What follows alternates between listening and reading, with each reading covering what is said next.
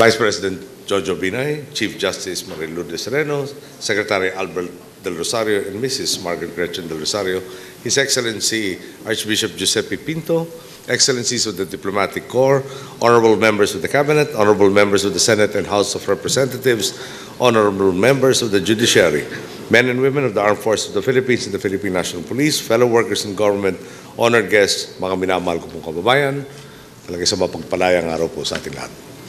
115 years ago, our nation gained its independence, and with it, the sacred responsibility of protecting and fulfilling the promise of liberty. Today, as one nation, we reaffirm this commitment, just as our heroes and martyrs paid the ultimate price for our freedom. As Filipinos, each and everyone is asked to do his part in building an even more progressive nation.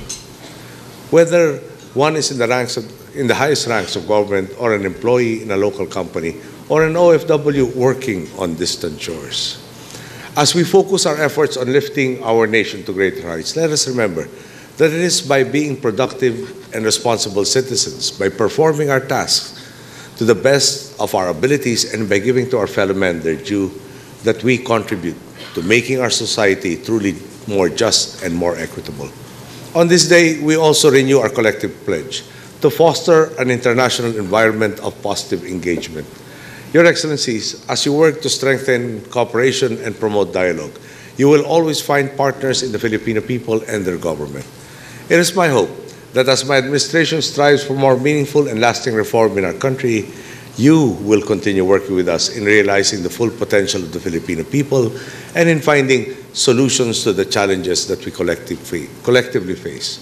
On this note, Your Excellencies, fellow workers of government, ladies and gentlemen, I ask you to join me in a toast.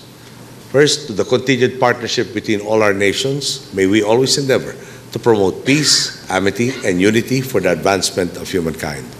To my fellow workers in government, may you remain faithful to serving our people and our republic. To our overseas Filipino workers, for their dedication and sacrifice, may their hard work redound and further contribute to a Philippines that they can come home to with pride and confidence. And to the future and continued success of the Filipino people, may the examples of our heroes be our guide as we tread the straight path to equitable progress.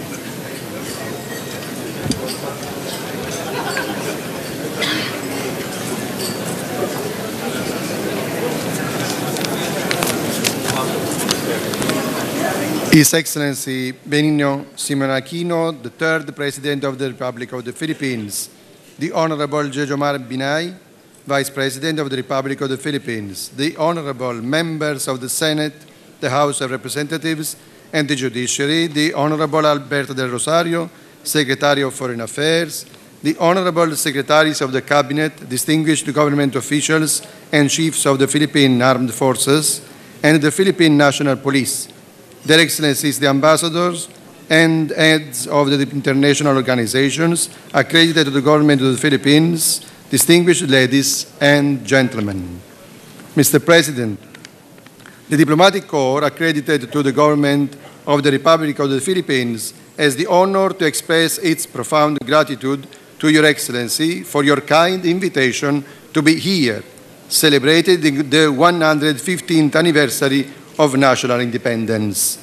Through my voice, the heads of the diplomatic missions convey to you, Mr. President, as well as to the Filipino people, heartfelt congratulations with sentiments of affection and friendship, also in the name of their respective governments and international organizations, as I do with them.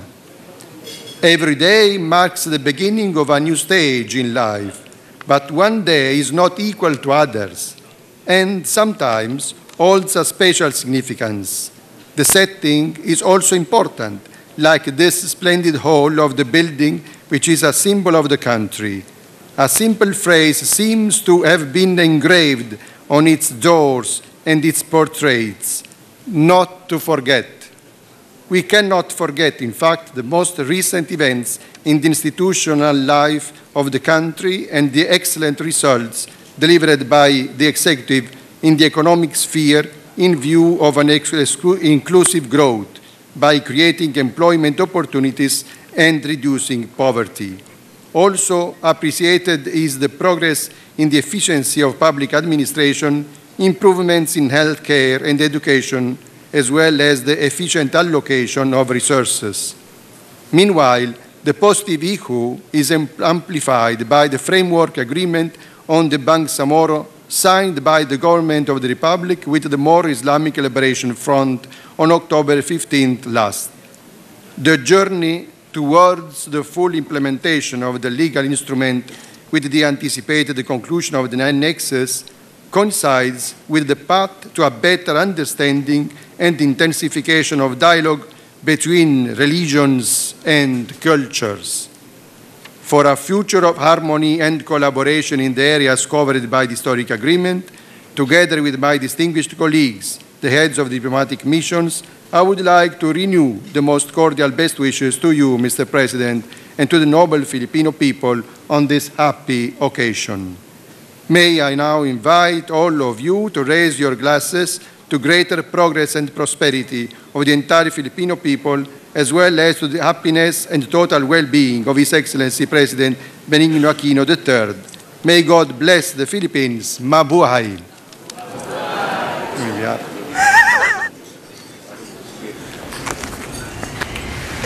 And that was the papal nuncio to the Philippines, uh, giving a response to the President Aquino's uh, speech, who delivered his welcome remarks at the annual Vin d'honneur in Malacanang. The President offered a toast to the continued partnership between the Philippines and other nations, government workers, and OFWs.